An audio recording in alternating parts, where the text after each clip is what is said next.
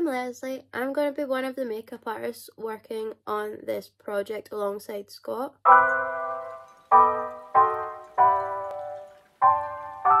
Currently at college in my second year studying HND, TV, film and theatre makeup artistry. Um, I first wanted to get into makeup artistry because I originally have a degree in fine art and throughout lockdown I started doing a lot of body painting and face painting and a lot of people encouraged me to go into this um, course. It's something I want to do in the future, working more on TV, film and theatre stuff. I'm really excited for this opportunity so thank you very much.